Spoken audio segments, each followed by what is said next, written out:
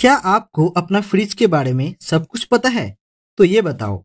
आप जब घर से बाहर जाते हैं, तब क्या आपका फ्रिज को ऑन रखनी चाहिए या ऑफ़ कर देनी चाहिए? 24 घंटों में कितने घंटे आपके फ्रिज को ऑन रखनी चाहिए और ऑफ़ रखनी चाहिए?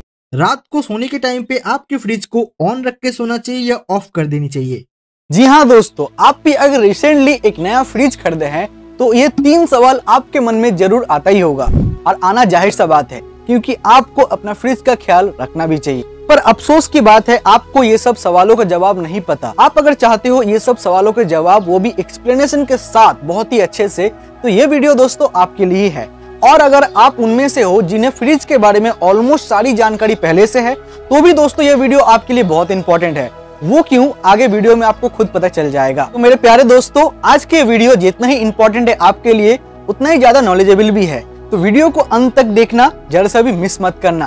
क्या पता आप जाने अनजाने अपने फ्रिज को डैमेज कर रहे हो, पर दोस्तों घबराओ मत, आज के बाद ऐसा कुछ नहीं होगा। तो दोस्तों वीडियो को लास्ट तक देखो और अपने जितने भी सवाल है, उसके जवाब पूरे एक्सप्लेनेशन के साथ इस वीडियो में जान लो। और हाँ दोस्तों, इससे पिछले वाले वीडियो में मैंने अपना जो नया फ्रिज खरीदा है, उसका अनबॉक्सिंग और रिव्यू किया है। वो फ्रिज का अगर अनबॉक्सिंग रिव्यू वीडियो देखना है तो आप यहाँ पे आई बटन में देख सकते हैं। काफ़ी इंटरेस्टिंग वीडियो है दोस्तों, आपको पक्का मज़ा आ जाएगा। तो हेलो गाइस मेरा नाम है रोहन, आप देख रहे हैं फ़र्स्ट अनबॉक्सर यूट्यूब चैनल हम इसी तरह के नॉलेजेबल वीडियोस लाते रहते हैं आपके लिए। तो इस वीडियो पे आप अगर नए हो चैनल को सब्सक्राइब कर लीजिए, पास में दिया हुआ बेल आइकन को दबाकर ऑल कर लीजिए, ताकि जब भी मैं आगे इस तरह का और भी नए नए वीडियोस लाऊं, आप सबसे पहले देख पाए। अब चलिए दोस्तों, बढ़ते हैं वीडियो की तरफ़। बात करते सबसे पहला सवाल। आप जब घर से बाहर जाते हो तब आपका फ्रिज को ऑफ़ कर देनी चाहिए या फिर ऑन छोड़ना चाहिए। जी हाँ दोस्तों, आप अपना फ्रिज को ऑन ही रखो जब आप घर से बाहर जाते हो। ऐसा क्यों? क्योंकि दोस्तों, आप जब लॉन्ग टाइम के लिए अपना फ्रिज को बंद कर देते हैं और काफ़ी टाइम के बाद जब उसे बाद में ऑन करते हैं, तब उसमें प्रॉपर कूलिंग नहीं होता है। काफ़ी सारा कूलिंग से रिलेटेड बहुत सारा प्रॉब्लम उसमें आ जाती है। तो आखिर ऐसा क्यों? तो दोस्तों, मैं आपको बता दूँ, आपके फ्रिज के पीछे तरफ़ एक लोहे की कॉयल कंडीशन वाली पाइप रहती है। जिसमें से दोस्तों चौबीसों घंटे उसमें एक गैस दौड़ती रहती है। और जब आप अपने फ्रिज को बंद कर देते हैं, तब उसमें से एक अलग टाइप का दोस्तों नमी पैदा होती है, जिससे वहाँ पे जंग जैसी एक चीज़ वहाँ पे जमने लगती है। और जब बाद में आप उसे ऑन करते हैं, तब डायरेक्ट प्रभाव पड़ता है कंप्रेसर के ऊपर। उसमें जो गैस दौड़ते रहता है, वो गैस ठीक से फ्लो नहीं कर पाता है। जिससे दोस्तों सर्कुलेशन प्रॉब्लम आता है, इसमें आपका जो दोस्तों कंप्रेसर है, वो बहुत हद तक खराब होने का चांस बढ़ जाता है और फ्रिज भी डैमेज हो सकता है। अब दोस्तों मैं आपको बता दूँ आखिर क्या करनी चाहिए।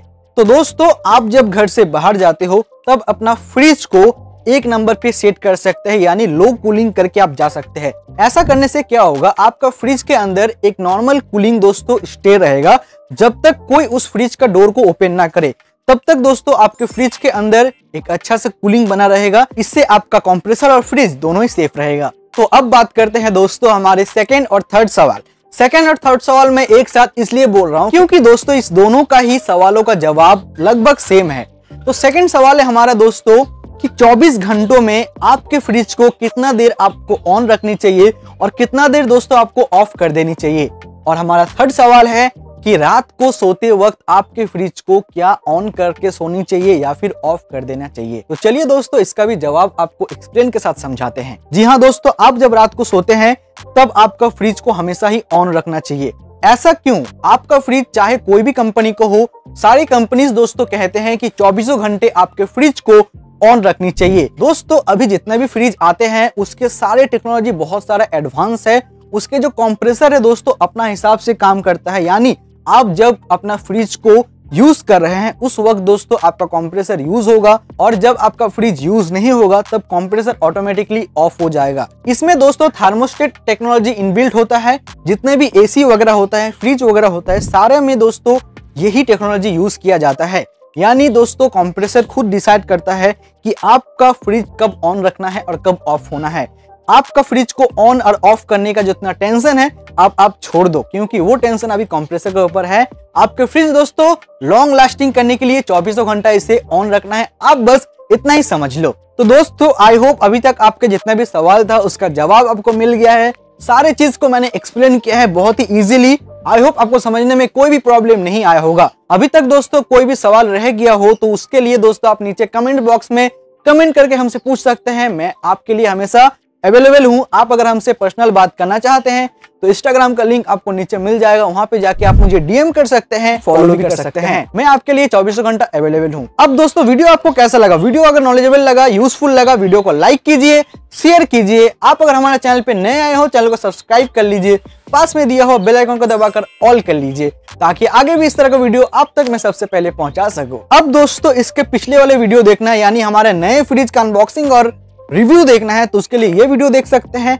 और अगर आपको ड्रोन में इंटरेस्ट है, ड्रोन का अनबॉक्सिंग का वीडियो देखना है तो यहाँ पे क्लिक करके ये ड्रोन का अनबॉक्सिंग वीडियो देख सकते हैं।